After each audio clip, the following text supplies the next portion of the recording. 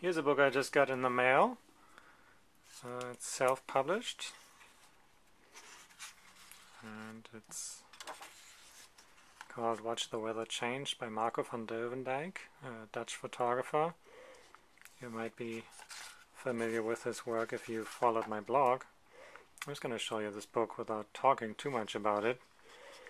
Photographs were taken in, uh, in Holland and in uh, Eastern Asia.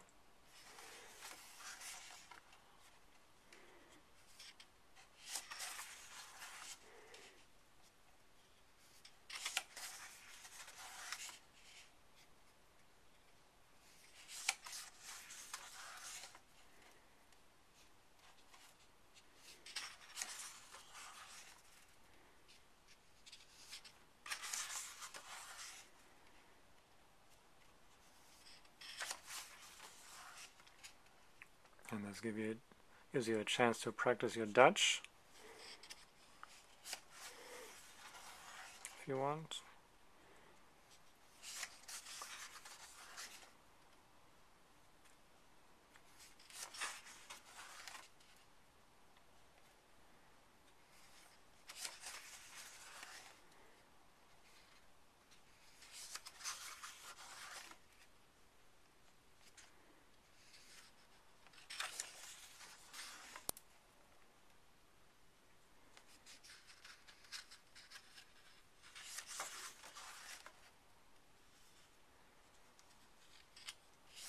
Think this is uh, Fuji Instax. Uh, not that it really matters, but I think it's the only type of uh, Polaroid style film left if you uh, exclude the uh, Impossible Project, um, which is called film, which is really just impossibly expensive and very bad quality.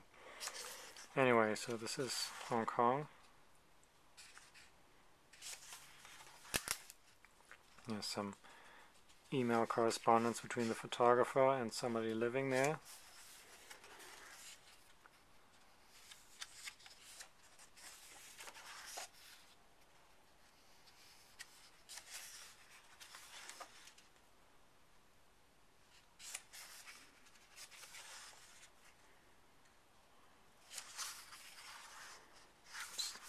One page missing, sorry about that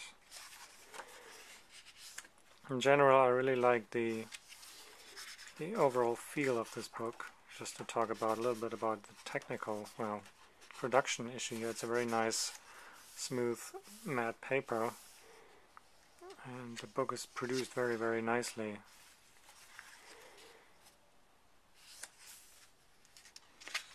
These little little details really matter at least to me. So I think um, this this this is part of the the experience of the object book just the the tactile feeling of the book even the way it smells. It's not that that's what I look out for with my nose. But still um, you know you can ruin or mar a book by using cheap paper or the wrong type of paper. Um, of course you can ruin a book with bad printing, all kinds of things. So when you make a book, there are all these details that go into the production of the book beyond having the photographs.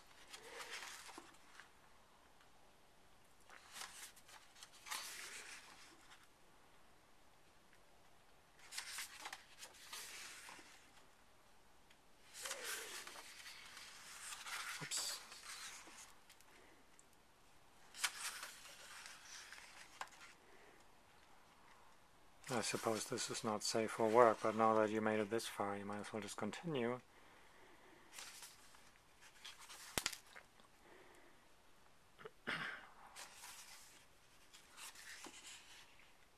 and what does it mean anyway, not safe for work?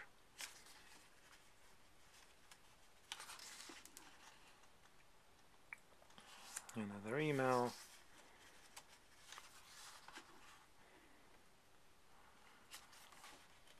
Interesting way to end this book. Here's the colophon. As I said, Watch the Weather Change. Published in November 2011, Marco van Duyvendijk. Um, self-published book. Beautiful little object.